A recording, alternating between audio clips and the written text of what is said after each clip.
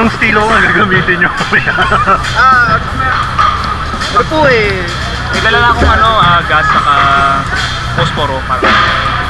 Ikaw? Kaya gas na nakita ko sa Boracay. Para po akong ano, para po, hindi hindi ko alam sabihin ko eh. Nakakabahan na ako. Butik pa ako malaglag. Bigla mo. Dami-dami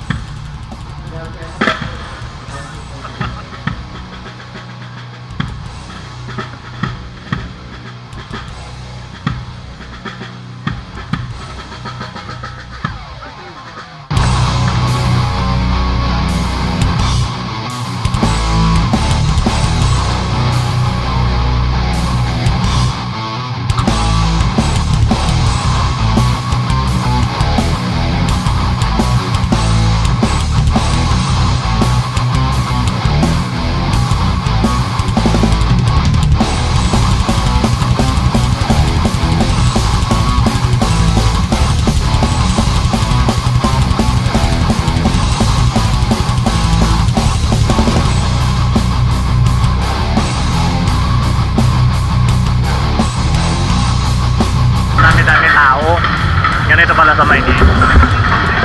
Ganito pala sa Maynila. Namin na.